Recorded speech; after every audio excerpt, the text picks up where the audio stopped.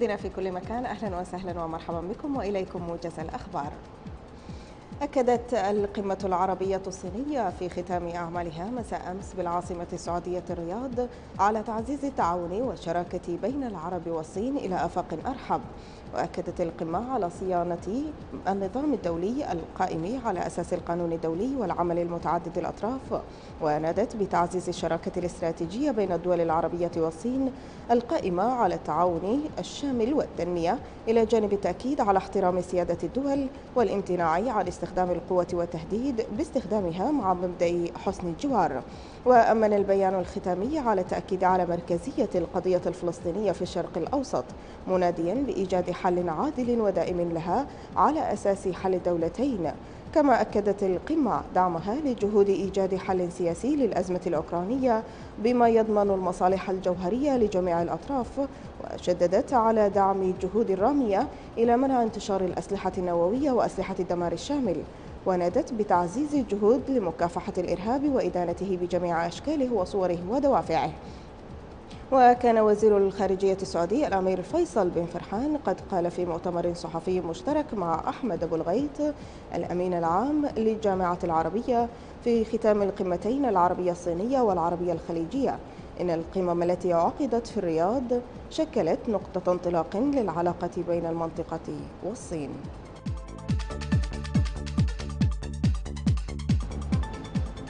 قال رئيس مجلس السيادة الانتقالية عبد الفتاح البرهان لدى مخاطبته مساء أمس أعمال القمة العربية الصينية التي استضافتها الرياض.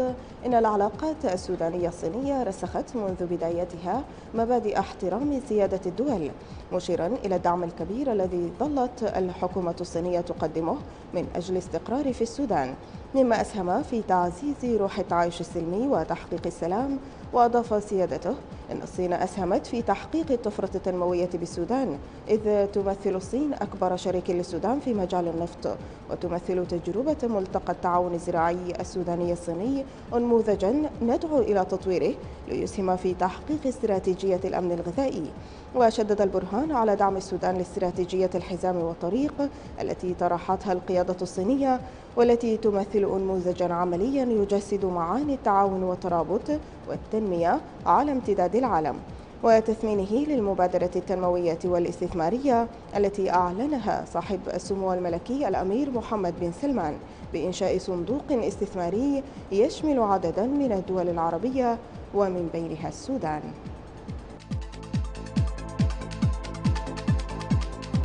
التقى رئيس مجلس السيادة الانتقالي عبد الفتاح البرهان مساء أمس.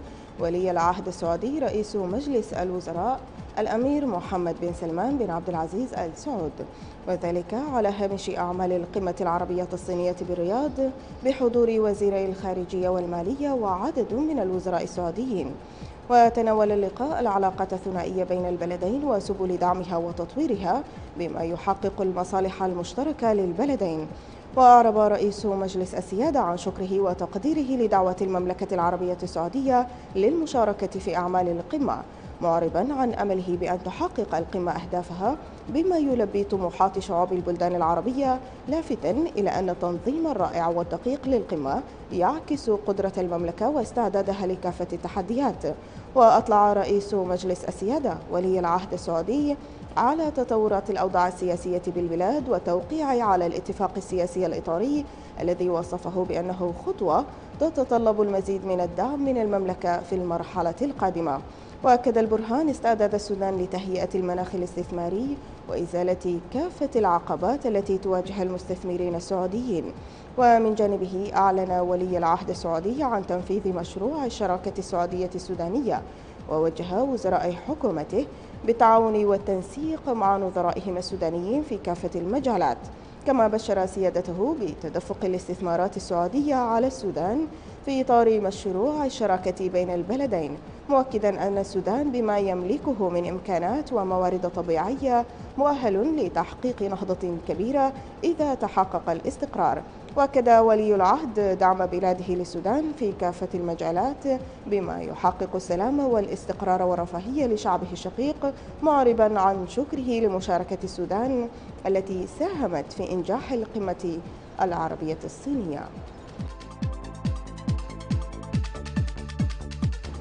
عقد رئيس مجلس السيادة الانتقالي عبد الفتاح البرهان والرئيس المصري عبد الفتاح السيسي أمس جلسة مباحثات مشتركة بحضور الوزراء من الجانبين وذلك على هامش أعمال القمة العربية الصينية التي استضافتها العاصمة السعودية الرياض.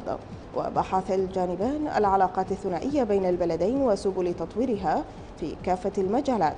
واتفقا على تعزيز التعاون المشترك ودعم المشروعات الاقتصادية المشتركة وعلى رأسها الربط الكهربائي والغاز والسكة حديد. وأطلع رئيس مجلس السيادة الرئيس المصري على التطورات السياسية بالبلاد وعلى رأسها الاتفاق السياسي الإطاري الذي تم توقيعه الاثنين الماضي. وأمن البرهان على ضرورة تنسيق المواقف الداعمة والمتبادلة بين البلدين في المحافل الإقليمية والدولية بما يحقق المصالح المشتركة للبلدين والشعبين. وأكد الرئيس المصري دعم مصر للاتفاق السياسي الإطاري الذي تم توقيعه مؤخرا بشأن الفترة الانتقالية في السودان باعتباره خطوة هامة ومحورية لإرساء المبادئ المتعلقة بهياكل الحكم في السودان ودعم الدولة السودانية لإنجاح العملية السياسية وذلك عبر توافق سوداني خالص يضمن استقرار ورخاء السودان. وأعرب السيسي عن دعم بلاده الكامل لجهود مجلس السيادة في تحقيق الاستقرار السياسي والأمني في السودان وذلك انطلاقا من الارتباط الوثيق للأمن القومي المصري والسوداني والروابط التاريخية التي تجمع شعبي وادي النيل. قالت الصحفية والكاتبة الصينية فيحاء وانشين إن السودان دولة محورية مهمة في العلاقات العربية الصينية ويعتبر بوابة الصين للبلاد العربية. وأعربت في تصريحات صحفية عن تطلع الصين لمزيد من التعاون مع السودان في مختلف المجالات. وأضافت إن توقيع السودان على مذكرة الانضمام لمبادرة الحزام والطريق في العام 2017 يؤكد أهمية دور السودان في تعزيز العلاقات بين الصين والبلدان العربية حيث يلعب السودان دورا أساسيا ومحوريا لاستفادة الدول العربية في المبادرة لوجود الموانئ ولوجود العديد من المشروعات السودانية المدروسة والتي تمثل دفعة لهذا التعاون. وأشارت إلى أن الشركات الصينية تدرس فرص الاستثمار في مجالات النفط والغاز والطاقات المتجددة والخدمات المختلفة. أعلن والي الشمالية المكلف الباقر أحمد على دعم حكومة الولاية ووقفتها مع برامج ومشروعات وزارة الصحة والتنمية الاجتماعية لتوطين العلاج بالولاية. وذلك لتخفيف المعاناة عن كاهل المواطنين. وقال لدى افتتاحه المخزن المركزي للمعدات الطبية بدنقلة بحضور وزير البنى التحتية والتنمية العمرانية والطرق والجسور الاتحادي ومدير عام وزارة الصحة وعدد من القيادات.